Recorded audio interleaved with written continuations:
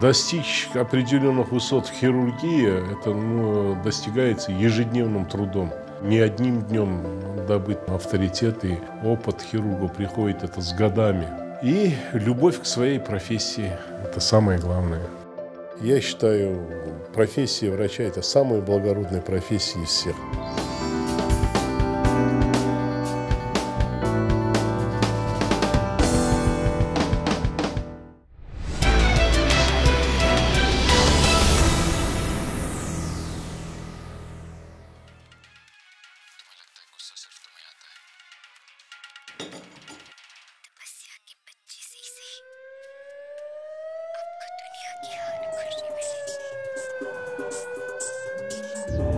Секунды и минуты там э, решает тех случаях, когда поступает э, пострадавший с ранением сердца или с разрывами органов, когда идет массивное внутреннее кровотечение, вот здесь вот играет уже, будем говорить, не часы, не минуты, а секунды. Мгновенно принять решение. Первая задача – это остановить кровотечение, а дальше уже спокойно разобраться и продолжить операцию. Когда говорят, что я с детства мечтал быть хирургом, я этому мало верю, потому что как таковую специальность хирурга мало еще в детстве кто представляет, что это такое. Все поступают в медицинский институт, потом в процессе учебы уже где-то пятому-шестому курсу они начинают понимать, что именно выбрать. То ли терапию выбрать, то ли хирургию или акушерство, гинекологию. В советское время лечебный факультет сразу делился по специальностям. Это терапевт, хирург и акушер-гинеколог на три части. И э, самый маленький э, набор шел из, допустим, из 350 человек, 50 э, студентов набирали на шестом курсе по специальности хирургия. 50 где-то набирали на акушерство гинекологии, остальные 250 они становились терапевтами общего профиля. Ну, мы попали в хирургию, и даже в то время никто не думает, каким он станет хирургом. Просто необходимо было учиться, потом трудиться. После окончания Алматинского медицинского института в 80-х годах э, я приехал по направлению Министерства здравоохранения Казахской ССР э, в Шимкенскую областную клиническую больницу, где начал работать хирургом. В течение 10 лет работал хирургом, последующие 10 лет работал главным хирургом, заведующим отделением областной клинической больницы. Впоследствии возглавил как главный врач эту больницу около 6 лет. 5 лет работал главным врачом. За этот период, э, ну, я думаю, наверное, уже становился как врач-хирург. Были у меня мощные, сильные наставники, такие большие хирурги, которые внесли неоценимый вклад в систему здравоохранения Южного Казахстана. Все корифеи э, здравоохранения последние, семь, работающие 60-е, 70-е, 80-е годы, я под их руководством проработал. И где-то в 2008 года я уже работаю главным врачом Шимкенской городской больницы скорой медицинской помощи. Обход в отделении реанимации и в хирургии.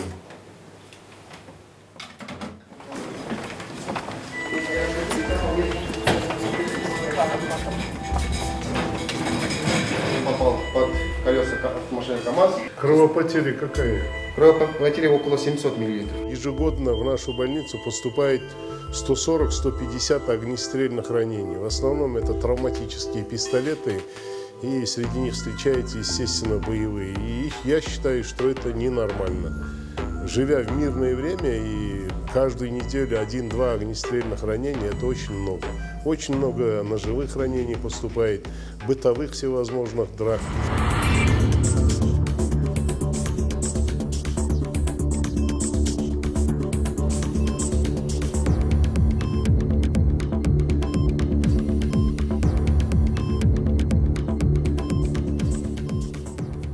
Дорожно-транспортные происшествия с каждым годом, с учетом того, что растет э, количество автомобилей, наверное, машин увеличивается и растет травматизм.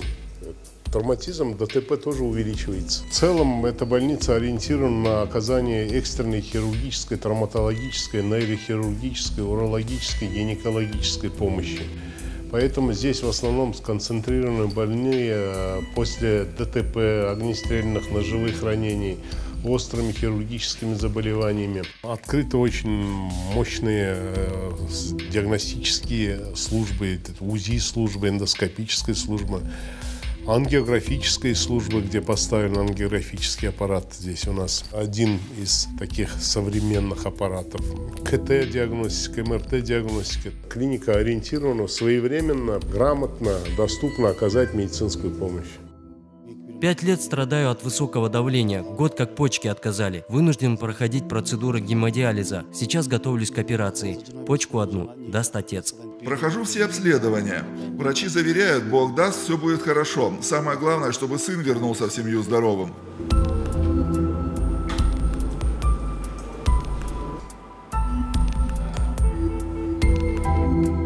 Мы больше всего работаем вот с Южной Кореей, потому что они вот к этому прогрессу, к своему достижению где-то приступили где-то в начале 80-х годов. А в начале 80-х годов как страна СССР, она для общения с зарубежным опытом, зарубежным клиникам была закрытая. Мы не могли выезжать в зарубежные страны, такие ведущие клиники, как Германия, Франция, Европы и, э, допустим, Южной Кореи или Японии. Они в те годы уже занимались оснащением э, медицинской аппаратурой и впоследствии, допустим, достигли вот таких больших успехов. Поэтому есть у них чему поучиться. И э, я ездию много по зарубежным клиникам. У них вообще оснащенность медицинской аппаратурой колоссальная. Мы вот последние 10 лет начали оснащаться, приобретать серьезную аппаратуру, серьезные медицинские инструменты. У нас до этого этого не было. Э, э, Высокой технологии, шовные материалы, допустим. Последние 10 лет мы вот это приобретаем. Ну, А эти страны, ведущие зарубежные клиники, страны вот Японии, Южной Кореи, этот период они давно прошли, и они сейчас занимаются уже высокой технологией. Поэтому они вот, допустим, в вопросах трансплантации органов очень далеко вперед ушли. Мы трансплантацией органов только начинаем заниматься. А эти страны, они уже начали заниматься в свое время в 80-х годах. А сейчас уже поставлено на широкую ногу это у них. То, что сейчас осуществляется, это, конечно, не в каждом городе Казахстана есть, не в каждой области. Это есть, может, с Изганова, в Астане, в Чемкенте. Пересадка почек делается. Это не то чтобы новшество, но это необходимая вещь, которая для практического здравоохранения имеет очень большое значение. Потому что наши больные ездят, уезжают за границу, делают пересадку почек,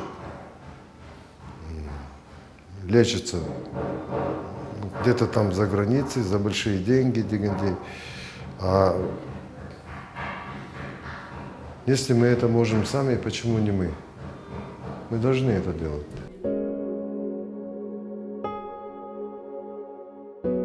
Ну, мы изучаем свою специальную литературу. Хирургам все-таки нужны хорошие знания, во-первых. Особенно нужно хорошо знать анатомию.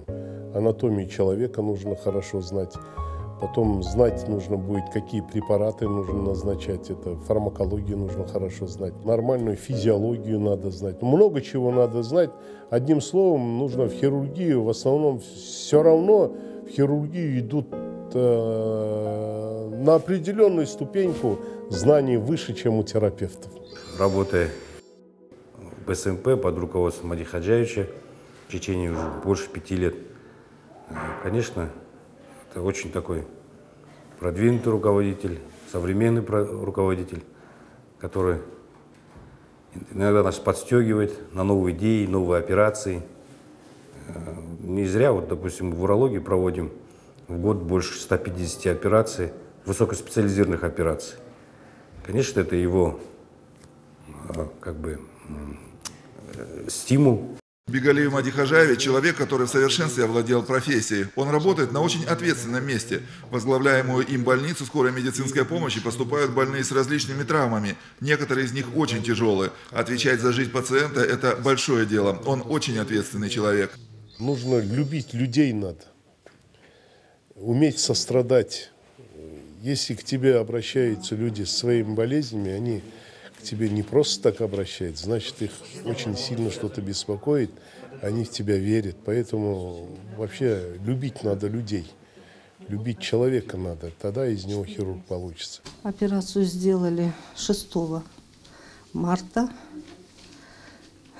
Чувствую себя хорошо, слава богу. Мади Хажаевичу спасибо большое. Он спас меня. Мы хотели в Алмата, поехали. Сын поехал, хотел там репатрироваться. А там хирурги, классные хирурги посоветовали. У вас, говорит, свой хирург здесь есть, очень хороший. Бегалиев Гармади Хаджаевич. Мы решили здесь. Операция прошла все удачно, хорошо вот. Ну и у него золотые руки. Благодарю Мади Ходжаевича. Большое ему спасибо. 13 дней, как мне пересадили почку. Чувствую себя хорошо. Благодаря ему я не поехал за границу, согласился на сложную операцию здесь. Теперь вернусь в семью. У Мади Ходжаевича золотые руки. Ну, состояние, когда удачно прооперированный больной, доставляет это огромное удовольствие. И если уже нормально, правильно прооперировал и знаешь, хороший исход будет, и, и родственникам больных с удовольствием об этом объясняешь, и видя их радость, что ты нормально это все сделал и правильно сделал, и видя радость родственников от того, что их родственник поправиться после твоего вмешательства, тоже испытываешь определенную радость.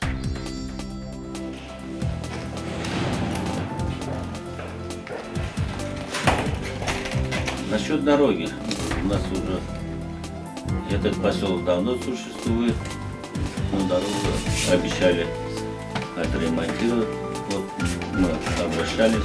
Какие улицы? Можайский, Линейный. Каждую среду я веду прием избирателей, общественный приемник. Люди приходят с разными проблемами, но в основном проблемы социальные сферы. Это неблагоустроенные улицы, плохое освещение, отсутствие ремонта в школах. Здесь городские проблемы очень много.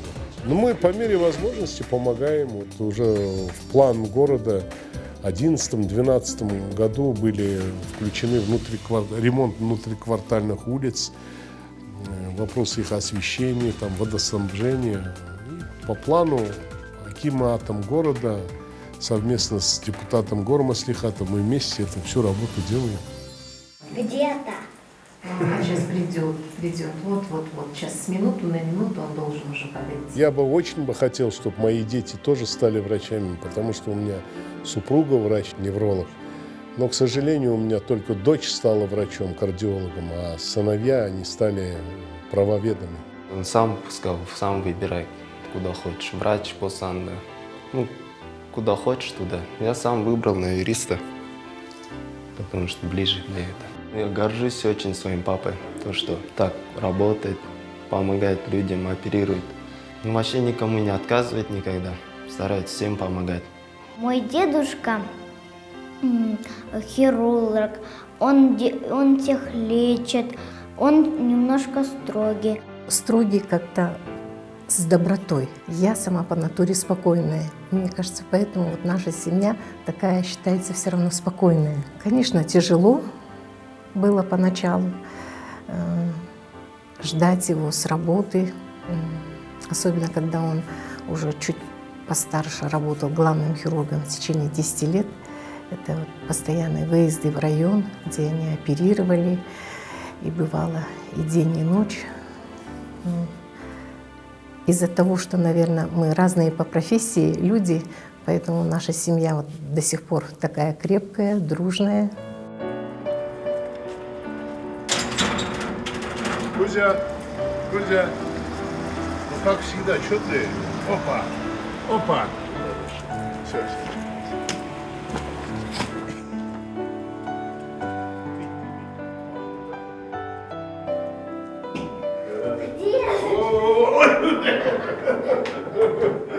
Какое бы время ни пришел, в день, ночь, там, утро, домой я прихожу всегда с удовольствием, потому что я знаю, что я дома смогу отдохнуть. Дома я не загружен какими-то бытовыми проблемами, потому что этими вопросами занимается моя супруга Савля, помогают мои дети.